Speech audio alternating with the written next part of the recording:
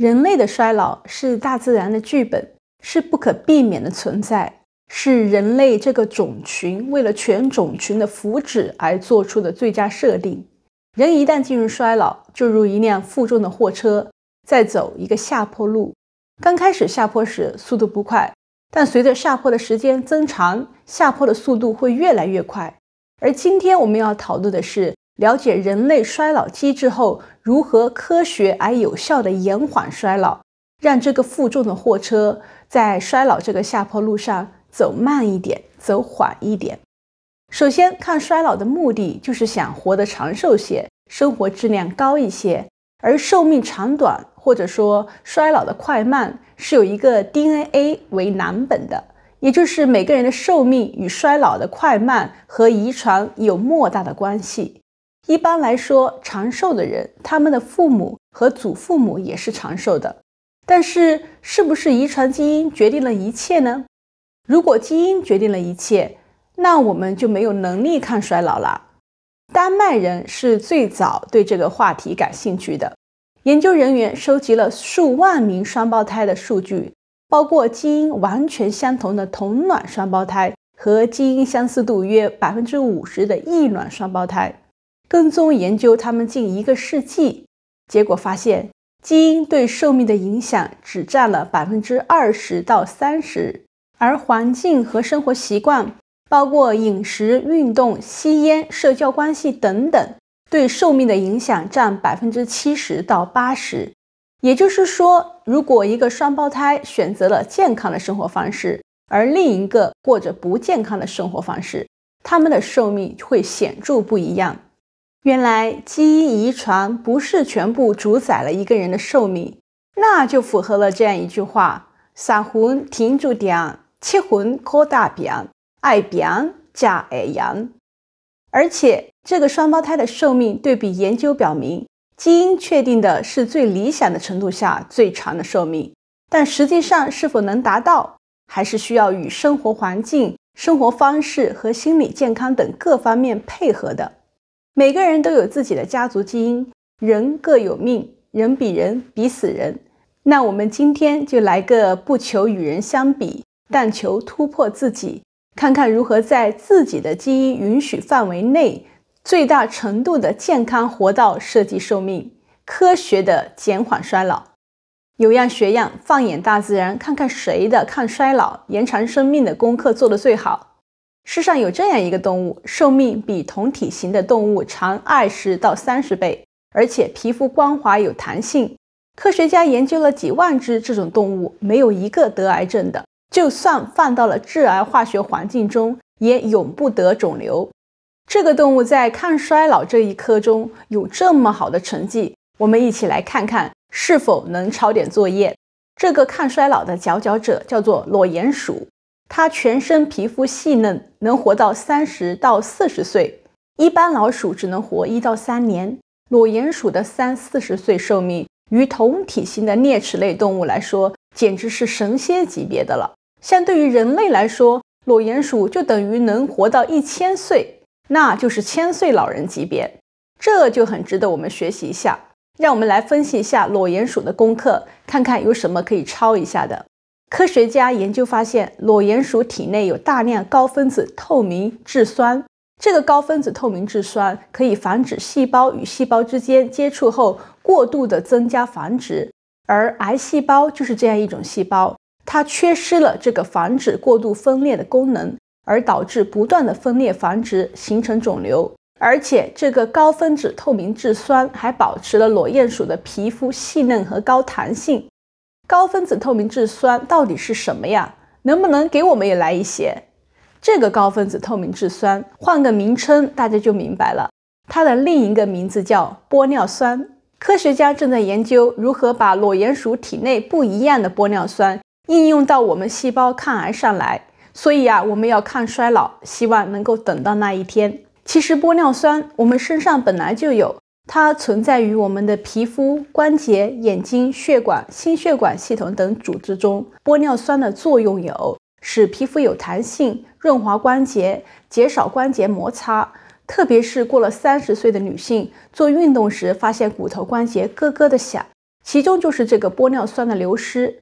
玻尿酸还能湿润眼睛，维持眼球形状，保持视力，维护心血管弹性，防止动脉硬化，有助于牙龈修复，维持肺部弹性，支持呼吸，维持神经细胞信号传递等等。玻尿酸在延缓衰老上甚为重要。那么，我们如何补充身体所需的玻尿酸呢？玻尿酸广泛存在于动物的结缔组织、关节软骨和动物的皮肤中。常见的食物有猪皮、鸡皮、鸭皮、三文鱼皮、鸡爪、猪蹄、鱼鳔，也就是所谓的花椒和动物内脏等等。这些食物不但含有很多的玻尿酸，还含有大量的胶原蛋白。胶原蛋白是人体内最丰富的蛋白质，主要存在于皮肤、关节、骨骼、肌腱、血管、角膜等部位。它的作用涉及抗衰老、保护、润滑关节。保持骨骼密度，促进伤口愈合，强化肌肉，维护心血管健康，保护肠胃，提高消化功能等等多个方面。而且胶原蛋白和玻尿酸一起作用，能保持皮肤光滑细致。皮肤好是抗衰老中重要的一个方面，叫容貌抗衰老。但是这些食物中的玻尿酸和胶原蛋白不能直接被身体吸收，它们只能作为原料，配合其他。促进合成的营养在身体内合成玻尿酸和胶原蛋白。什么是其他促进合成营养呢？那就是富含镁的坚果，例如杏仁、腰果、核桃，还有绿色蔬菜、谷物和深海鱼类，如鲑鱼、鳗鱼等等。另外，还需要富含维生素 C 的水果，含锌的贝壳类、牛羊红肉、芝麻等坚果类。这些含锌的食物还能促进细胞的修复，这里当然不能缺少富含植物雄性激素的大豆及豆制品、绿茶。这些食物促进玻尿酸和胶原蛋白的身体合成能力。身体一方面要求补充玻尿酸和胶原蛋白，一方面要预防它们遭到破坏。科学家发现，胶原蛋白和玻尿酸就像皮肤里的弹簧，让皮肤紧致有弹性。当身体摄入过多的糖，糖分会捏住这些弹簧，让它们变硬、变脆，失去弹性。这个过程，科学家称它为糖化反应。糖化的皮肤就会松弛、下垂，皱纹变多。西方女性的皮肤衰老比较快，某种程度上是跟这个摄入过多糖分有关。这个糖分的摄入不但是显而易见的含糖食品，如可乐、巧克力。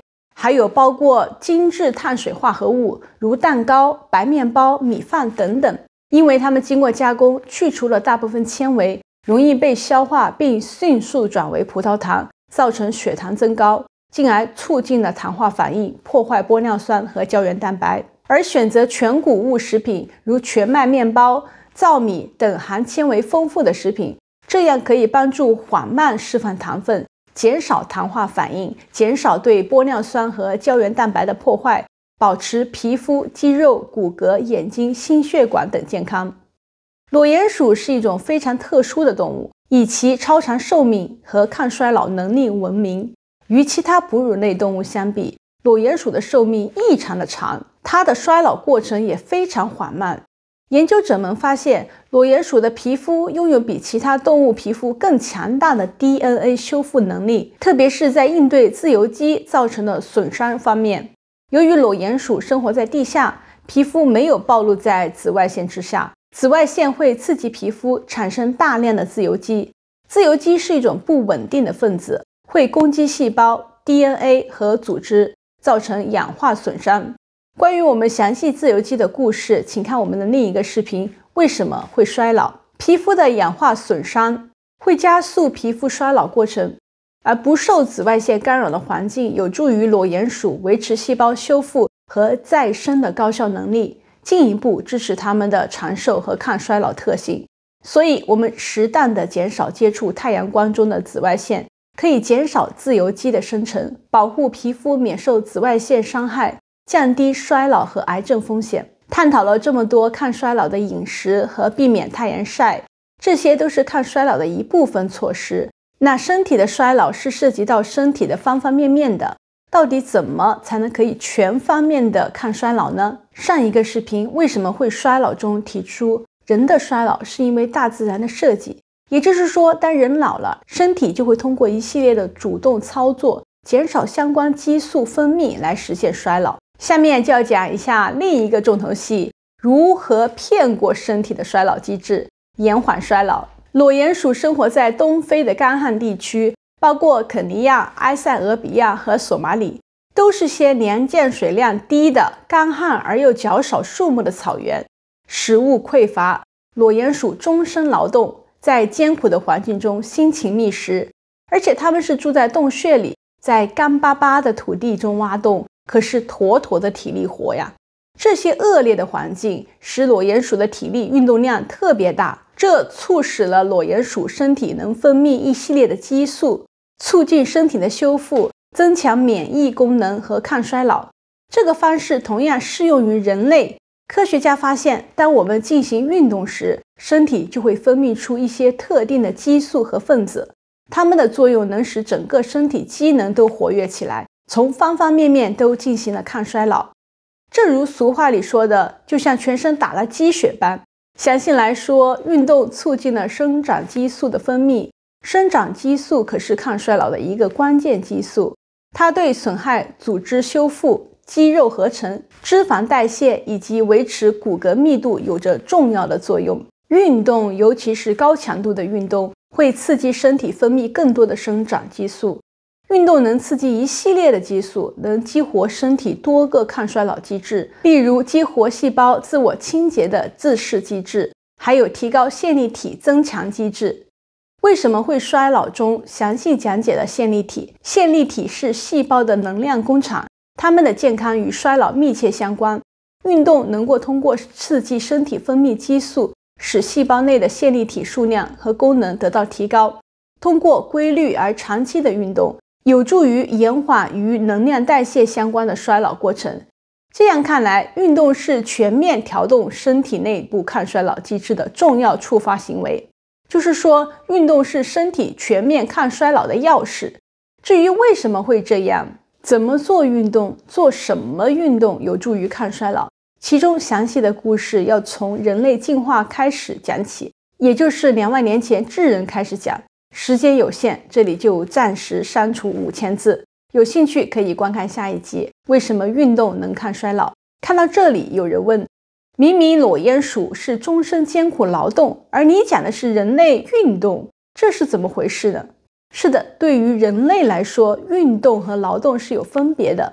人类的劳动对于大部分人来说是带有较大压力，以及不是心情放松愉快的时候做的。当然，如果你的劳动是少压力，而且心情愉快的放松的，那么恭喜你，你是非正常人类。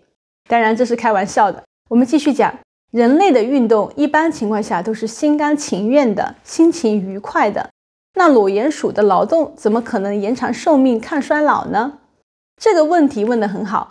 裸鼹鼠的劳动是零压力的，这也是裸鼹鼠非常独特的方面。裸鼹鼠是极少数的高度社会化哺乳类动物，它们的社会结构类似于蚂蚁和蜜蜂，有着严格的等级结构。最高级的是唯一有权利繁殖后代的女王，中间级别是几个强壮的雄性裸鼹鼠，负责配合女王繁殖后代。